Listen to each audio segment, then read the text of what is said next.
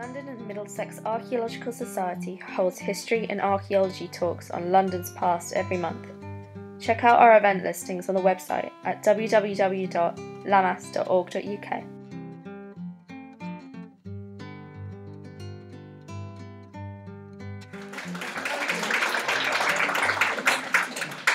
Thank you, everybody. Thank you for inviting me to talk to you about um, one particular aspect of our wonderful excavations at Bloomberg, London, we had. Um, you'll see that I've got notes here, copious notes, because there is Latin involved later on, and I don't do Latin, so I've got my notes with me. Um, but as I say, this is just one sort of small aspect of a huge assemblage of finds that were excavated from the Bloomberg London project.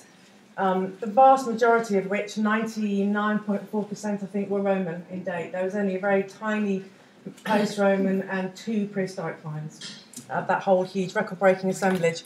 So it's very much a Roman site, and it's very much a site about Roman London as well. Not just um, activity on the site itself, but activity across London more generally, and also even um, into the wider reaches of the empire, the Western Roman Empire in particular. Um, all of which we can tell and we can learn about through the writing tablets which we found on the site. So, starting um, where we are, um, obviously you all know where the City of London is, otherwise you wouldn't have made it here today. Um, and you'll all know as well, of course, that the City of London pretty much, today's city boundary pretty much reflects the, the line of the Roman city wall that goes around the Roman city as well. Um, the Roman city wall is later than the archaeology we'll be talking about today, but it's worth bearing in mind that um, the Bloomberg site is, is slap bang in the middle of, of the Roman city. Um, and it's a typical sort of bread and butter job for me in lots of ways, and all my colleagues at MOLA. It's a development control project. We would, in the old days, have called it rescue archaeology. Some of us prefer to still maintain that um, terminology for it, because obviously what we're doing is we are excavating archaeology in advance of the development of a site. So, um, particularly on this site, um, some aspects of the site were very deep, um, and that allowed us to go right to the bottom of the sequence. Quite often we had to stop halfway, which is always disappointing. In this instance, we were able to go right to the bottom and therefore the beginning of, of London, of Londinium. Um, Bloomberg, you'll all be aware, maybe are um, uh, an American media company. Um, Michael Bloomberg was the old mayor of New York when we first started on the project, and he's since now left um, the mayoral job and is now I'm just a normal guy. Um, and uh, he, he, at one point, people said he should stand against Donald Trump. How different would we be thinking about him if he had today? But anyway, how quick, um, how soon things can change. And he's now building, or they're building their new European headquarters in London, in the city of London. They're moving from um, an office up here on Moorgate back down to the city, and they're moving European people in, which is kind of against the um, general flow of things as well. Um, but they are developing a site that some of you probably remember as looking um, like this 1960s office block, Temple Court, and Bucklersbury House that were on the site before. And it will look like this when it's built. Um, so, this is the Walbrook building, this is the Rothschild building. There's a historic building there, you can just about see St Stephen's um, Church on Walbrook. Cannon Street Station is here. Um, and that's Bank, obviously, Royal Exchange up there. And it's, it's quite low. Previous planning applications had it as a big high, much higher building. But of course, because it falls within the view of St Paul's from Blackheath in particular, um, it's low. Um, enough about the new stuff. This is talk about the old stuff now. Um, this is us again. This is us on site. So we're working underneath that um, little white roof in the corner there. That's the dome of St Stephen's Church that I showed you in the picture earlier, hidden behind the new building. And this is a picture taken in 2012, and obviously we're looking east towards the city. Um, I'm not going to talk about the history of the site in the 50s at all, particularly Temple of Mithras, obviously the site is famous for that, but that's another talk that you've probably already heard. Um, so we'll talk about um, the writing tablets in particular, but St Stephen's Church, which we just saw the dome of, um, is in is there, and that's a Wren church, one of Wren's um, first churches and, and, the first dome that he constructed before, obviously, St Paul's was built. Um, and what we're looking at is the work in the 1950s. After the war, um, the site was bombed heavily and it was cleared in advance of the redevelopment for the buildings we saw, the 1960s tower blocks we saw in the earlier slide. And what we're looking at um, is seven, eight metres roughly of Roman fill of the Walbrook stream. And what we're looking at now is we're, we're looking south along the line of the Walbrook stream towards the Thames. So the Thames is at the end of this photograph, behind those buildings. And on the left, this is where the Temple of Mithras was that had been excavated from in the couple of years prior to this photo being taken. And on the right hand side, and um, from, from this point onwards, really, um, all the rest of the archaeology on site was removed by um, machinery and taken and, and dumped um, somewhere in the Thames Estuary, we know not where. But there's a good research project there for somebody. Um, so 95% pretty much was removed, and all we have left um, is all this on the left hand side of the photo. You can see it's quite wet though, the men have got wellies on, and that's um, of, of a key significance to the later survival of the archaeology on the site this slide now we're taking with the previous picture we saw was taken from the vantage point of this person here so um, we're still looking south really but we're looking at it from, from an angle an oblique angle. Um, St Stephen's Dome is on the left of this picture but you can't see it. Um, and key to this photograph is the huge um, engineering um, logistics really I suppose solutions that had to be instigated before we could dig down because the archaeology was so deep, we were going down 12, 14 metres below modern street level. And Walbrook and Bucklersbury, the streets either side of this photograph, are both medieval streets without anything um, substantial beneath them. And in fact, if you walk out of St Stephen's Church, as you come down the steps, you end up falling into the Walbrook Valley, um, in theory at least. So um, the ground is very unstable, and we didn't want the church to fall in on us. So all these huge engineering props, they look like pipes carrying water, but they're just props to keep the road from falling in. And I mentioned the Walbrook. Um, here is the site in the pre pre Roman period. This guy's come from Heathrow on his boat. He's come a long way. Um, a.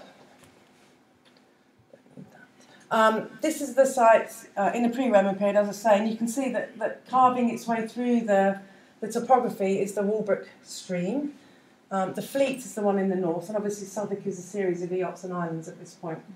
Um, but the Walbrook becomes one of the main topographical features of the Roman town, certainly at this point. Um, but at this stage, it's a kind of shallow wooded valley, really. Um, but it's carved over the millennia since um, it's started to be formed. It's carved quite a steep valley on one side and a shallow valley on the other side, and it runs through our site. And that means that the archaeology on this site is much deeper than you'd normally expect it to be in the City of London, and it's also much wetter. Both things are really good for preservation of things like writing tablets, obviously. So I just I just put this slide in. This is the statistics on the left, but this is us um, looking at the piles carrying um, one of the Roman roads over the Walbrook Valley, and this is street level. So one, two, two and a half, maybe three, three floors below modern street level. There's still bits of archaeology sticking into the um, into the gravels at the bottom of the Walbrook Valley. And the fact that, as part of the development um, planning permission, uh, the Clever Old Corporation of London um, suggested that Bloomberg might like to provide, um, for the public's benefit, a new entrance into Bank Station um, underground. Obviously, Bank Station is horribly overcrowded at rush hour, particularly the bits into the Waterloo and City line. Um, and, and on this site now, there's going to be a brand new um, escalators down into the Waterloo City line, and that obviously is really deep. So we got to dig a whole um, seven metres deep of archaeology in advance of that piece of development. So the Romans arrive in London and they live on the dry bits first, as any sensible um, people would do. And then slowly they need to um, encroach on the Walbrook Valley. There's already a bridge carrying Road 1, which we call um, the main road, east, um, west rather, through, through the city, um, really close to the site. Um, but they're still living in the Walbrook Valley at this point is still quite steep and obviously quite unin- uninhabitable. Um, this picture down here, which you probably can't see, um, shows how the Romans dealt with this um, from, an, engineering perspective. And basically, they, they built um, what we call cribs, but they're basically boxes of oak timber, which is what these, these are behind. Um, and they build um, boxes and they fill the boxes with earth from, from around the town or from, from locally, just dug up. Um, and that creates a nice flat platform on which you can build a building. So what they're doing is, is reclaiming the land on the, the, the muddy, um, slippery slope of the Walbrook and making it nice and flat for people to build houses on. And because it's it's wet and deep, obviously we have the fantastic preservation of all the um, of all the structural timbers that are involved within the construction of the cribs. This one has just become a bit um, mashed by the weight of the 10 metres of modern development, post 80 AD development above it, of course. Um, but you can see that the timbers in the background survive to a really high degree. And this is where the writing tablet story really starts because in, in the material that they use to fill these cribs or these boxes with, um, it's included a lot of refuse from, from around town. So people are carrying, are, are bringing carts um, of material along the road and it's organising the dumping to create these, these platforms. And a horrible site plan, I'm afraid, a draft site plan. This is the road at the top of the site, and this is the Walbrook here. And these are these boxes in pink um, with open areas behind them. Um, we didn't have the roadsides of the buildings, obviously, because this is we didn't dig there. That's that's the actual street Bucklersbury. Our site starts here and goes down like this. But anyway, the, the pink bits are these these cribs, boxes, structure numbers, and within all these structures um, are many many writing tablets, um, perfectly preserved because the ground is is soggy and, and wet. And this is the first um, really this is these are the first contexts that we find these writing tablets within on our site, and these are really early. This is um, this isn't actually that early, it's 65 to 70 AD, but we had them in earlier structures from the sort of mid 50s on. So within 10 years of Roman occupation of Britain, um, and within five years of Roman occupation of London, we've got these structures going up on our site and imported material coming in with things like writing tablets in it. And then, uh, obviously, because of, where it is and because the town is busy and bustling and things happen and, and people change and buildings collapse or burn down or whatever, um, they need to then build subsequent platforms on top of these. And we know that there was flooding in between some of these phases and some of the houses would have not been in a, in a good enough state to maintain. So, in between phases of these um, platforms, they just import huge amounts of of stuff again from, uh, from around the town. And um, this is a pit, a later pit, with a fantastic basket in it. Again, that proves the um, shows the organic um, preservation is really spectacular. Second century Roman basket, but um, he's he's within a pit that's a metre and a half deep, and the metre and a half of material behind him is all this imported stuff from across Londinium, and it's very um, compacted because of the weight of things above. And it doesn't move around very much, and it's wet. Um, so it, it, it provides an anaerobic environment, so no um, air gets in to deteriorate organic remains, and no um, air can get into rocked metalwork. So we have really spectacular survival of metalwork as well as organic remains, including um, the basket in the picture.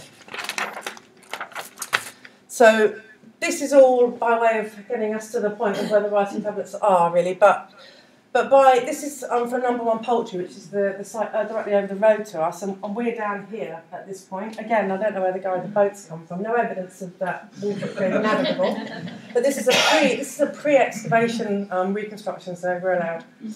Um, and this is this is how our site would have looked as well. We know from the activity behind the houses. Although I said we didn't have the actual um, roadside bits of the property we had enough behind to identify bakeries and administrative areas and domestic areas and kitchens, that kind of thing.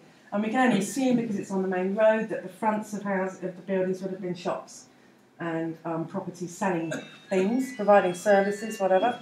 And certainly the, the bakery, um, which we have, which is we haven't got a picture of bakery here. But we had a really nice um, bake, about 80 AD, and that would have been behind a baker's shop, very obviously, because you're not going to be carrying um, baked bread very far. So this this shows the environment within which um, people are living and using these writing tablets on and around our site. And all the and this is this is London in about 70 AD, like I say. So we've had we've had the Boudicca uprising and the rebuilding after Boudicca, and this is London at its getting towards its height. Really, I think the maximum Um, population for Roman London has been at, put about about forty thousand in about hundred AD, so we're heading towards that sort of apex of, of um, Londonian bustlingness. If that's a word, which it's not. Um, and all the other major writing tablet assemblages from Britain and across Europe are from late first century periods. Um, so we, we fit in with them um, quite nicely.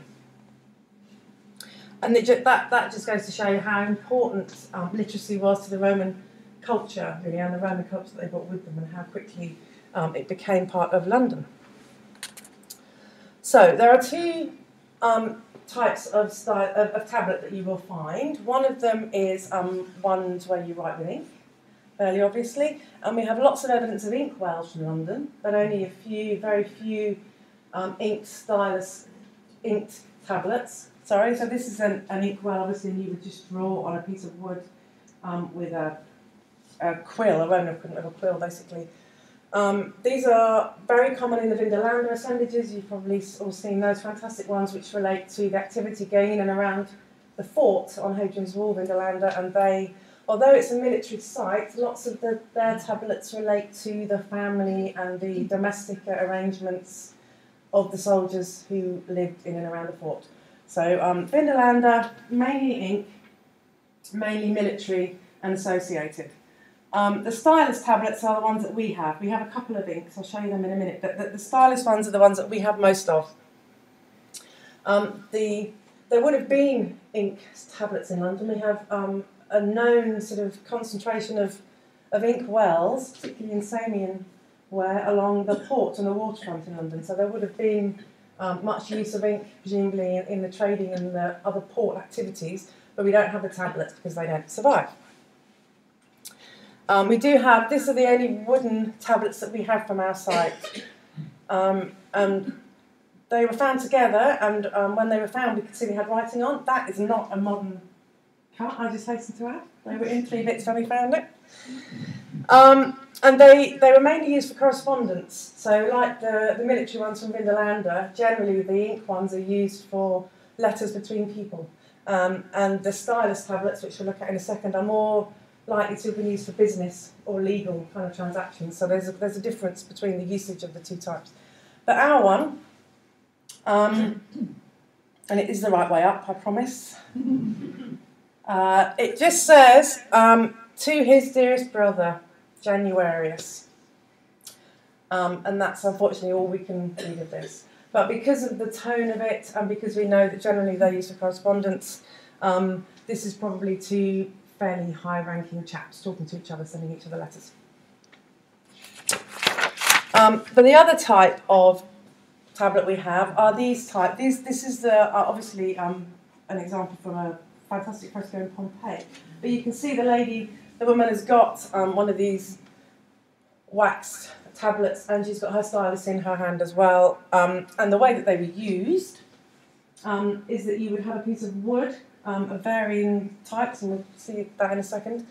Um, the front of which is sort of gouged out really to make a um, to leave an impression. And in the impression, you then put wax, um, black. Ours are um, beeswax, local beeswax, um, with charcoal to make it black, and then you would use your iron stylus to scratch your message in, and then you would fold it over, tie it up. You can see it's got leather binding to tie it, as you would a parcel um, and send it to the recipient who would reply uh, and send it back.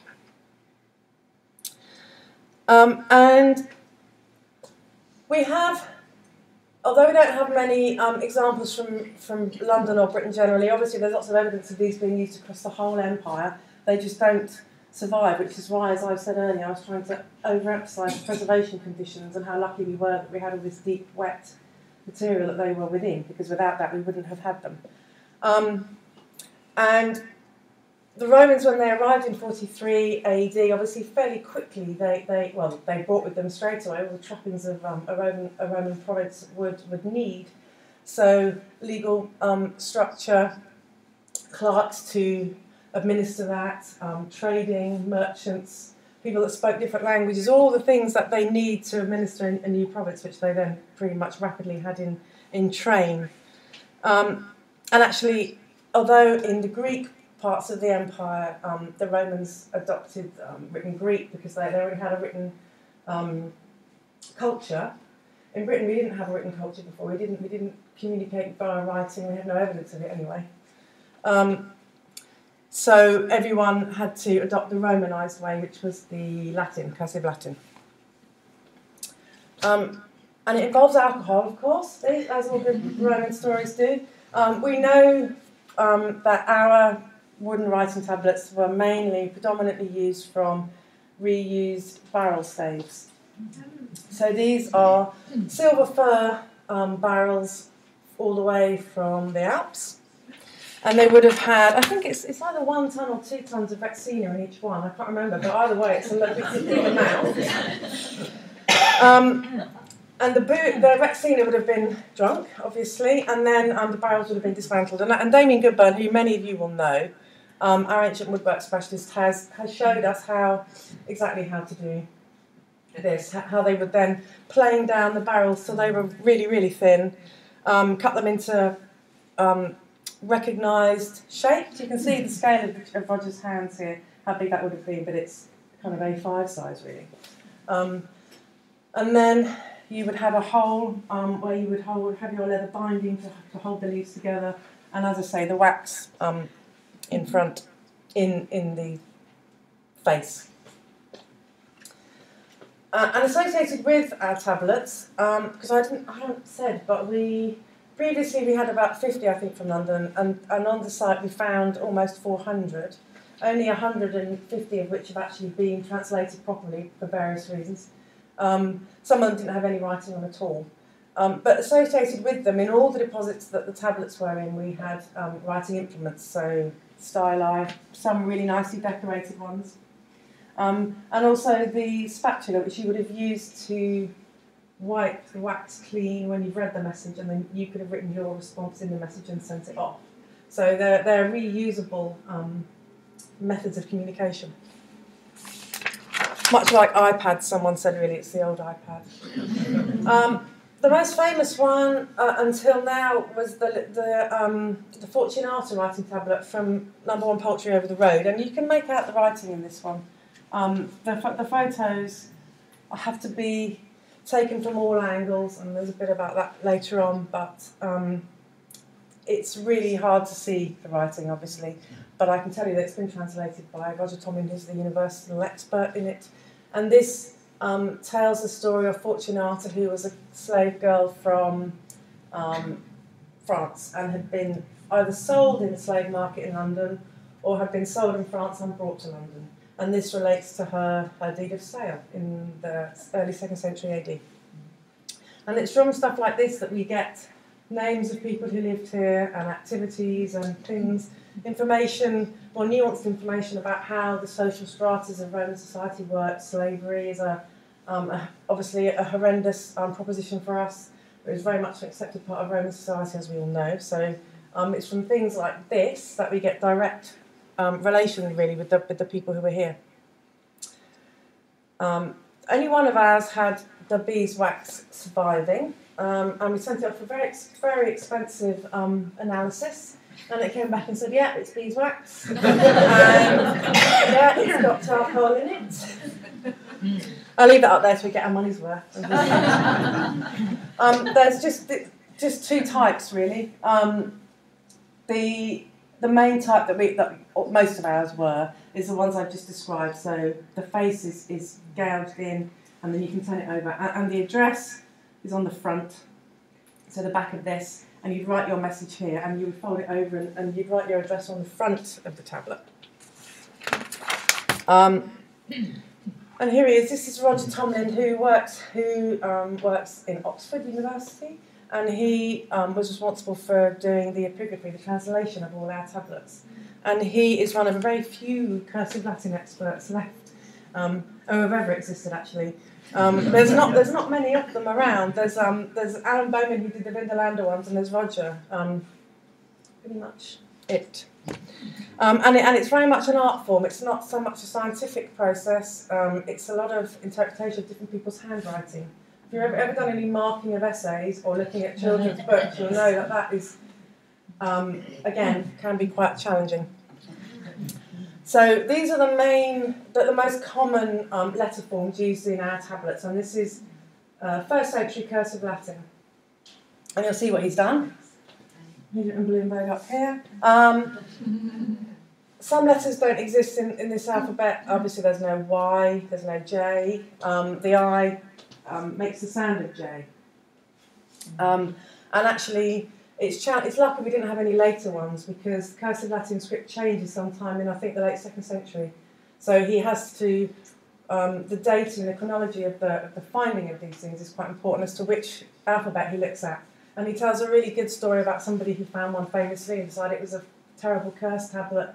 And then when someone else came and looked at it again, they just turned it up the other way and it was something entirely different. so you do have to be very careful. Um, but hopefully you'll all know what that says. Um, but the, the key thing is, though, is that there's, um, so these are all, this is the alphabet on the top, and this is um, all our numbers of, of some of the legible tablets. And these are all the different ways all the different people wrote those particular letters. So the handwriting, as I say, can be quite challenging to decipher. And as well as that, um, you have the issue that they were often reused. So as I said earlier, quite often you would um, you would scrape out the message that your friend had sent you, and you would write your response on the same do the same piece of wax that you just made smooth. Um, and what happens obviously is that you, if we are lucky as archaeologists, the stylus goes deep enough into the through the wax to etch onto the wood underneath, and that's how we get this fantastic um, evidence left. But if many people have used the same thing, we get something that looks a bit like this. Um, and this is just one of the many that he had that, um, that are really that were really challenging to him. And until somebody, there's all sorts of um, ideas about how technology could help with this kind of thing. But unless, to, um, and Roger does think that it would be useful to have technology. Certainly, if you could find some way of measuring with um, beams the different depths of the writing, you could you could identify five or six or two or three different different sets of writing in the same one. Um, this one, uh, so this is imp up here, and I have a translation. You'll be glad to hear. So um, this is a, a dated imperial do- uh, official document, presumably. We've only got the um, half of it, so maybe the date was on the other half. But it's it's to Belinus, um, but he this is all that we've got, which is really quite um, taunting because he's asking him angrily for something or to do something else, and we can't. Roger can't get any further into that one currently, um, but we are doing more work on some of them, which I'll talk about in a bit. Okay, so let's get into some of them then. Um, so you'll see that. Um, this is how I'm going to show you on the slide. So, so this is the actual tablet. You can see the scratches maybe, um, and how the the stylus is bobbled in through the through the pith of the wood, um, and then this is Roger's drawing. Um, there's a word there that you might be able to recognise. Yeah. Yeah. Uh, here it is in Latin, but I don't. I do have it in English as well. Uh, and I'll read it if you like. Can everyone see it? Shall I read it? In the, in the consulship of Nero, Claudius, Caesar, Augustus, Germanicus, for the second time, and of Lucius Calpurnius Piso, on the sixth day before the Ides of January, which is translated um, into modern parlance as the 8th of January AD 57. I, Tibullus, the freedman of Venustus, have written and say that I owe the freedman of Spurius, 105 denarii from the price of the merchandise which has been sold and delivered. This money I am due to repay him or the person whom the matter will concern. So there's loads of interesting things in there. There's the fact that they're both freed men, so they were slaves and now they've bought or been given their freedom. Um, we have really fantastic references to money, and that's so that's quite a lot of money actually. 105 denarii at this stage. This is early. This is 57 AD, um, and at that point, that's what that's six months of, a, of an average soldier's wage at this point. So there's a lot of money that's been lent um, in Londinium. But the, the most important thing about this one, of course, is the date. Um, AD 57. Um, this makes it the earliest dated document from Britain um, because we have no written Roman um, references that, that predate this one. So this is a really um, quite an important little thing. And we've only got half of it, um, but the details are, are quite good on this one actually. There's far worse ones, you'll see them in a minute. Um, that's why that is a historically important document. And that one will be displayed in the new building when they have the exhibition of finds. That one will be up there. You can have a look at that. Okay, um, number 45 um, is again quite early, so 62. Um, and you can see um, we have more of it, although we only have half. They're sort of snap um, in half, but we've got the half of one. Uh, again, we've got more dates, and um, we've got this Londinium here, of course. Uh, this says in the consulship of Publius Marius Celsus uh, and Lucius Alfinius Gallus on the 12th day before the calends of November, which is the 21st of October AD 62. Um, I, Marcus Aurelius Venustus, have written and say that I have contracted with Gaius Valerius Proculus that he bring from Verulamium by the Ides of November 20 loads of provisions at a transport charge of one quarter denarius for each, which is not um, not much money considering we've just talked about how 100 denarius is a six months' wage, um, on condition that one adds to London and then it he sort of loses it then. Um, but this, of course, is really important because it we have um, London and we have Verulamium in the same um, uh, piece of text, same archaeological um, evidence. And it's, it's important because of the date, again, 62 um, is maybe a year after the Boudicca um, rebellion, which would have razed um, London and Verulamium, St Albans, and Colchester to the ground, pretty much, we know. Um, and within a year, London is getting provisions from Verulamium, which is, is significant um, to historians of Roman Britain as well as archaeologists of Roman London, obviously. Um, and the, the names, again, are, are full and really, really nicely detailed, but it's, it's the fact that this proves that there was rebuilding going on within a year, probably a year, maybe a little bit longer, of the, of the huge um, chaos that ensued after Boudicca razed London to the ground. And there had been an assumption that it maybe would have taken five, six, up to ten years bits of London to recover. And this suggests that actually we're already they were already on it pretty damn quick after um, after the dust had settled, really, quite literally that. So this again is a really important historical document, as well as a really nice archaeological artifact. And there's another one which I haven't got a slide of, which is from 64 AD, um, again, quite soon after the Boudicca Rebellion, really, which talks about um, there having been a rapid recovery in settled conditions in London, which is a really nice, pithy statement which says that by that point, everything, you don't worry, guys, we're, we're getting back to where we were. And we know that by 70 AD, London was, was on the up, um, had been on the up for a while. So this is a really nice um, proof of what, of what archaeologists have thought, perhaps. Um, this is a nice one because it, um, it relates to Britain as a whole. Tertio Brachia Rea are. Tertio is the man's name. His name is Tertius, and Brachia is an odd word that probably means brewer. Um, Roger thinks it means brewer. The other guy that does writing tablets thinks it means maltster, but uh, maltster. But either way, it's something to do with beer. Um, and this is interesting because Tertius is known to have been at Vindolanda. He's mentioned in the Vindolanda tablets, and um, there is obviously um, there's only one of him because it's to him and he's the brewer, and it has no other um, address or anything. And there are other tablets that relate very um, very specifically to the supply of beer as well to Londinium, which is really great. We have that from Roman mm-hmm. London. But the fact that um, there is communication, it comes as no great surprise, I suppose, really. But at this point, obviously Vindolanda was on the, the edge of the Roman Empire, and, and London was in contact with it and through um, brewing. Um, another one which is really nice, which is fairly obvious really, and I haven't got I don't bother with the translation for this because um, Londinio Mogontius, um, um, Mogontio here, but Mogontius is the sort of translation really, and this is an address um, the top of a, a snapped off tablet, but we have the name of the town and the name of the chap. And he is Magontius and he lives in Londinium. And this is late first century again, I think this is um, early 70s AD. And the, the crucial thing about this is Magontius is a, is a native, a British name. So he is Um, he didn't come over with the Romans. He, he moved into a Roman town, um, like me, really, as an economic migrant from the provinces. Probably like lots of you as well. Um, and this is, it's quite nice to have um, evidence of other populations coming into London who had already lived in Britain and who, and who were ha- relatively, presumably happy to come and take advantage of the, of the thriving town.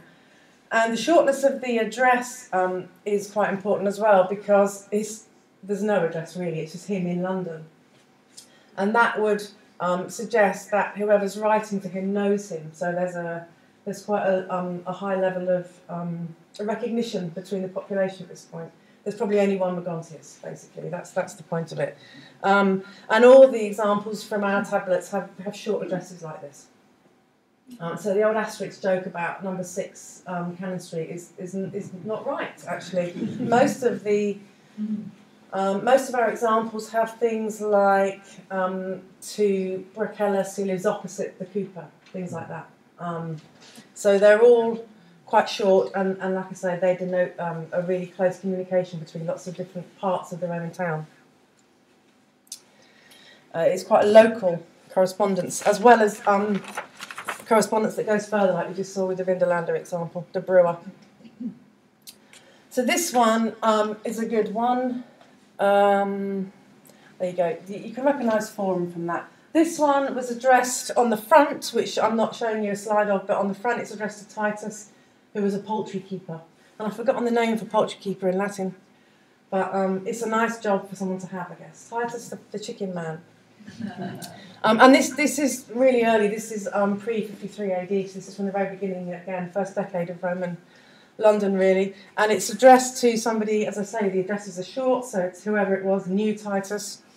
And they are giving him some hassle. They are saying, because they are boasting through the whole market that you have lent them money, therefore I ask you not to appear shabby, you will not thus favour your own affairs. and it seems that Titus is being warned by somebody else that unless he sorts this loan out that he's still owed, he's, he's going to ha- end up with egg on his face, quite literally. Um, and oh, wasn't that better than I hoped? Um, and the forum, the forum um, reference needn't be actually the forum in London, the forum Basilica that we know was on um, Leadenhall, Eastern Hill, and all that.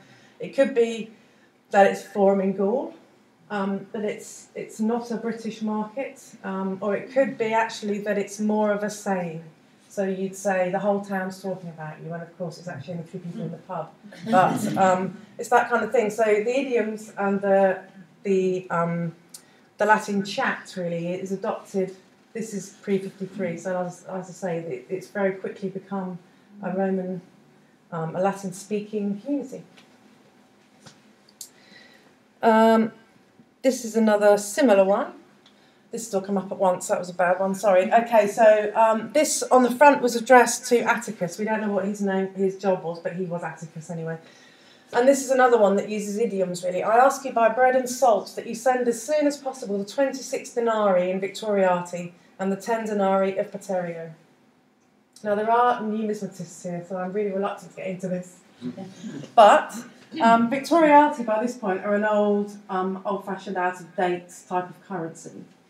Um, and denarii are very much um, used. Now, if if this person really was asking Atticus to send the Victoriati, then he would have had to go and ask his um, his mother if she still had any, maybe, or he would have to look in his cupboard in his kitchen to see if he had any of these. It's like nine, um, ten bob, basically. That's that kind of that kind of language.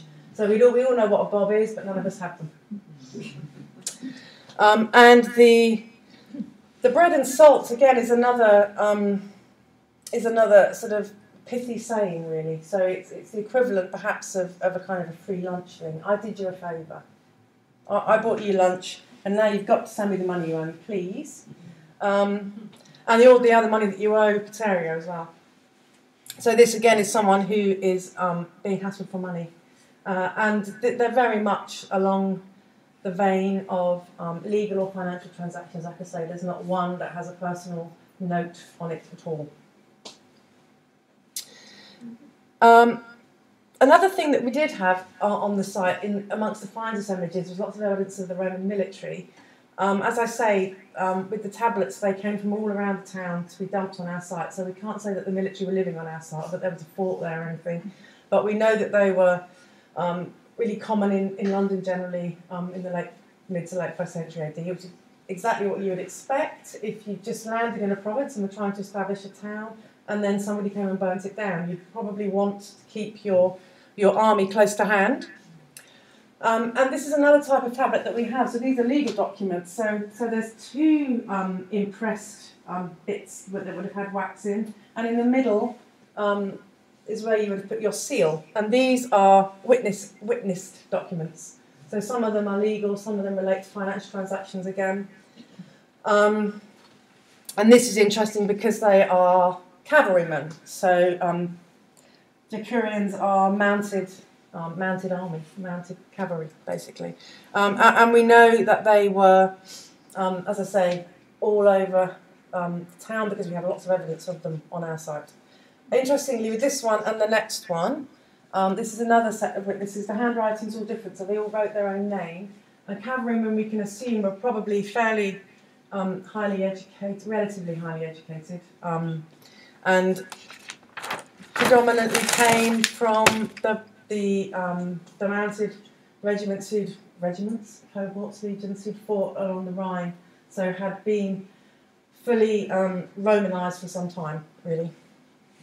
This is again is another loan note, and this tells us what troop they're in. So um, I never know how to pronounce that. Longinus, Longinus, Agrippa, and Verecundus are all um, the troops of Silvanus. Uh, and these would either have been mounted cohorts, so parts of legions, or they may have been um, perhaps as part of the governor's mounted um, guard by this point. This is a nice one. Um, I didn't bother with translation because it's fairly obvious. This is capitals as well, which is really interesting. Um, far more like our, our capitals. And when we first saw it, we wondered if it was somebody teaching a child to write because of the dots. But actually, the dots are only because that's where the soft bits of the wood are, so the stylus goes in, penetrates in further. Um, but somebody's practicing writing, and um, I think we think that the the the amount that we had within a relatively small um, area really uh, um, sort of indicates the ubiquitousness of um, writing in London, really, certainly in the well throughout the whole Roman period. But we've got evidence of it from the late first century. So we can say that, that writing was, was everywhere, would have been used by lots of people across all sectors of society. Um, and this is um, this is just A to L, but we had about 100 names, 100 people named specifically on tablets. Um, all of them have got fantastic um, Roman, as you would expect, Roman names. Um, and they also mention a lot of the time their job. Now, this is a bad example. Um, no, it's not. It's not such a bad example. There's most of them have got good jobs. The chaps on here, emperors, consulates, um, and um, horsemen, um, and the other um, M to Z has um, other emperors and things amongst their number as well.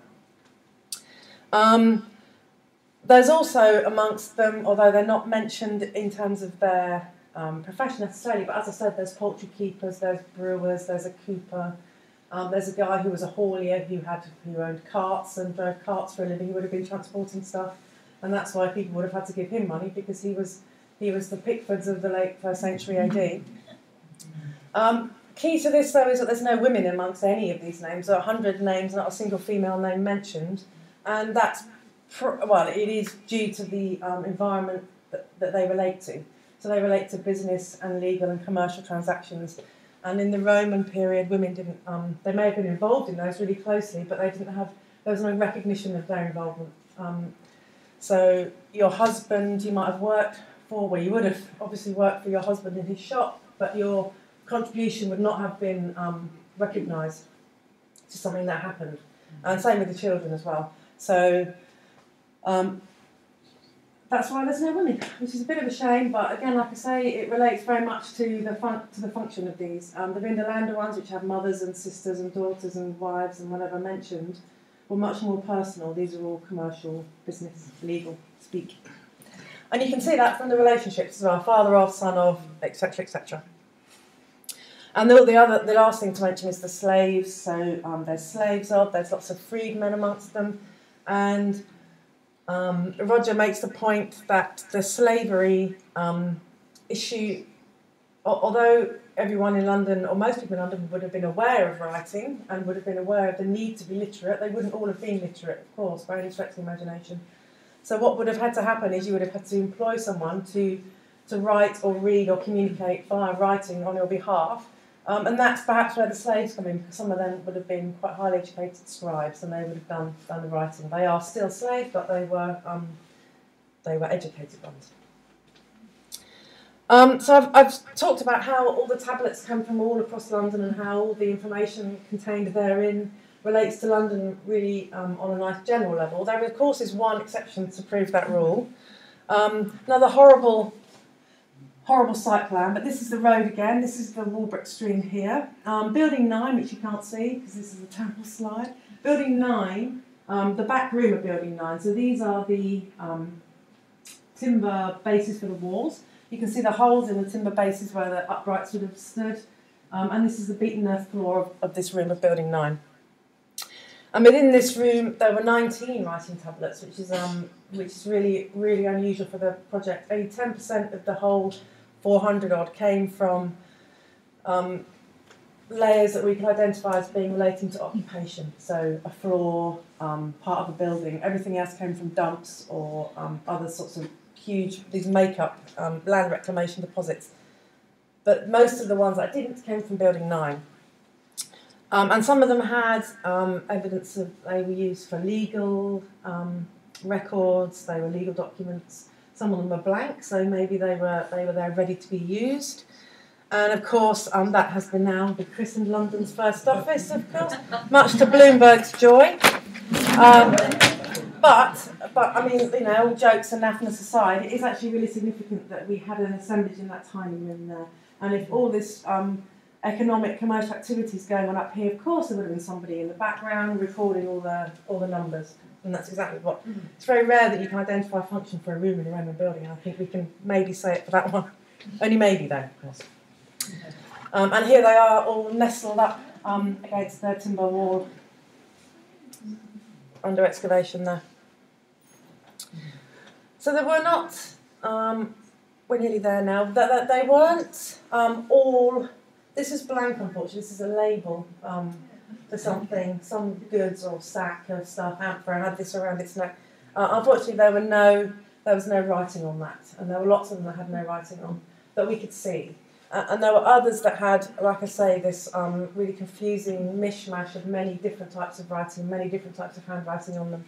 Um, so what we're doing, um, we're, we're doing further photography of them in an attempt to try and tease out more information from the ones that we've looked at and ones that we haven't Roger couldn't see with his naked eye, basically. Um, so there's a big, this isn't it actually, but it looks a bit like it. There's a big dome um, of lenses over them currently up at MOLA, and, and we're taking um, photographs of them from all different angles so that you can see the difference um, in depth of scratching and the difference in shadow from the light, hoping to identify much with some more clarity um, the different writing and see if we can get further into this amazing assemblage of things. And if you'd like to know more, you can buy the book. Thank you very much.